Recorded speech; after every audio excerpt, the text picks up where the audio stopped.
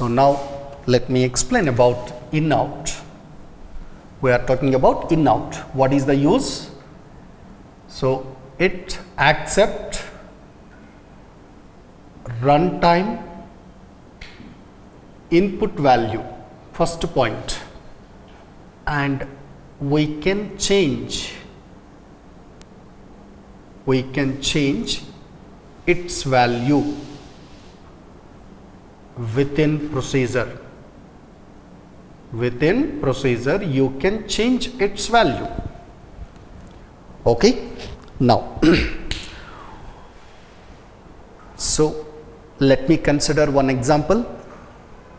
I am considering a procedure. I want to write a procedure which is taking customer id which is taking customer id and or otherwise customer account number anything customer account number. And it is taking some amount. What is the responsibility of procedure is it has to take account number and amount. And the procedure has to update the old balance by adding the amount. The procedure has to update the old balance by adding the given amount so then you have a new balance in your account. That new balance amount I want to return to program. Again I am repeating one input argument. Why? Because account number is in type argument and account number cannot be changed. Next, one in out type argument. Amount it is taking and updated amount it is giving to you so, for that I am writing a procedure. Listen. so, here procedure. What is the input to the procedure? Input is customer account number. What is the output value you are expecting? Yeah, input is account number and some amount also. Updated balance amount I am expecting okay for this let me write the procedure. First create the procedure. Create or replace procedure. The procedure name procedure underscore deposit. You are depositing some amount okay? And for deposit operation it is taking your account number. V account number.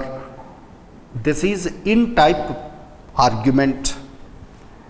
So customer account details dot account number percent type. This is the declaration of in type argument. And it is taking amount v amount it is in out type argument. It will take the amount once updated, updated amount will be returned. Okay. So, customer account details dot account balance percent type is. So, first it, it is taking account number and amount. So, for the in this account number it has to update the amount. Yep. Begin. Okay. First it is making update operation. Update customer account details set account balance is equal to the old account balance. Account balance plus given amount VAMT for whom you are updating? Where? Account number is equal to given account number V account number. In this account number the old balance is assigned with old balance plus new amount. Update operation is over. You have deposited 10,000. Old balance is 90,000. 90,000 plus 10,000, 1 lakh. Now your account balance is assigned with 1 lakh. So that 1 lakh we can see in your pay slip in your ATM. So 1 lakh should be returned to the customer again. Yeah, say here. so select, finally I am selecting updated balance, account balance that should be saved into amount variable AMT. What is the new amount? VAMT. And from which table you are selecting? Customer account details. From which account you are selecting? Where account number is equal to given account number. V account number. Finish. Okay. Now finish your procedure. End of your procedure. Procedure underscore deposit. This was finished. Now let me write a program here. I am calling the procedure through program. How should I call the procedure? Declare you need to submit account number that is V account number same customer account details dot account number percent type.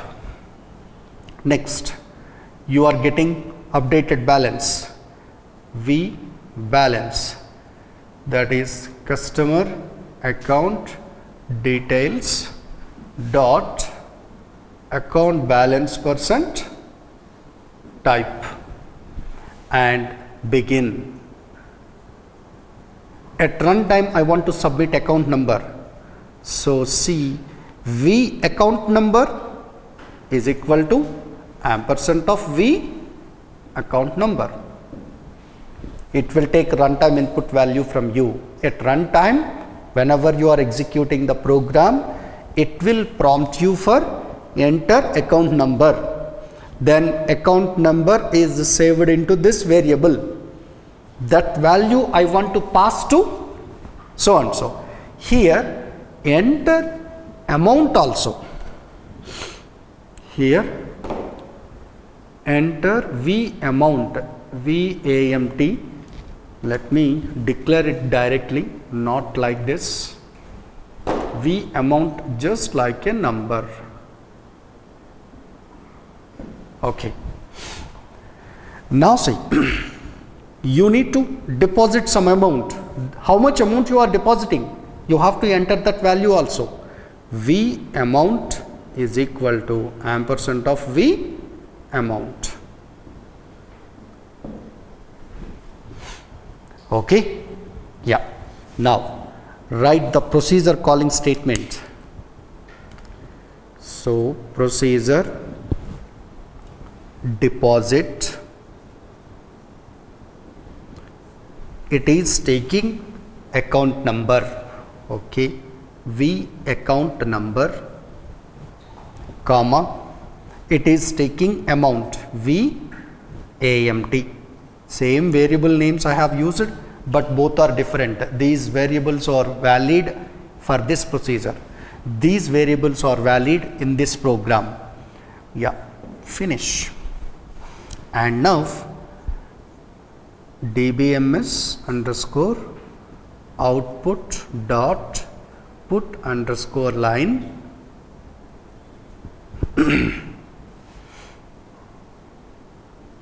account number some space v account number. And next updated balance is VAMT. I will tell you how it is going to be executed.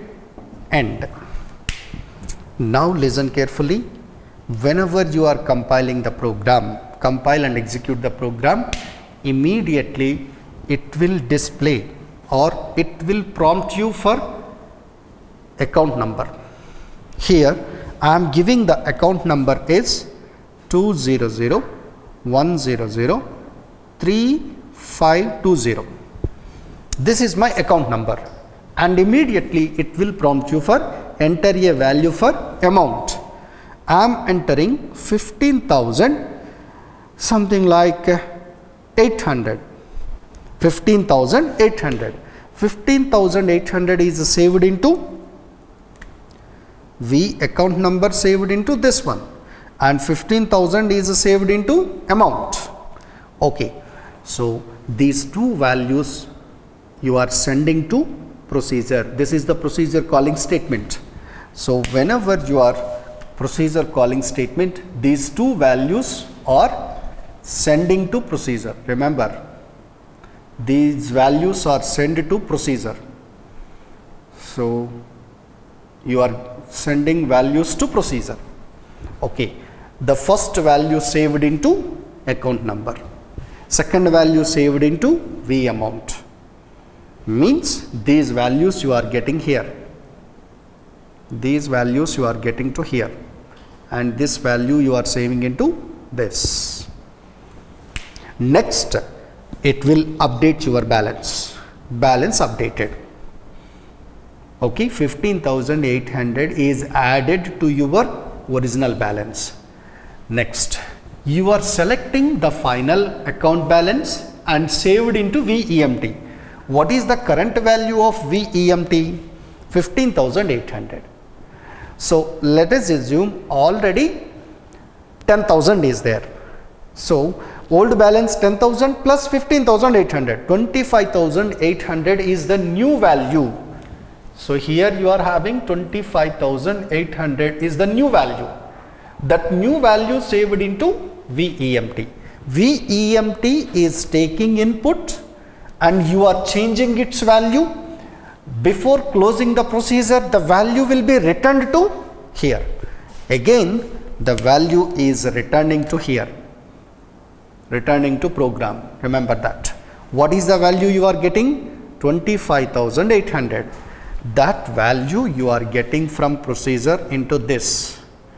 So, from procedure you are getting the value 25,800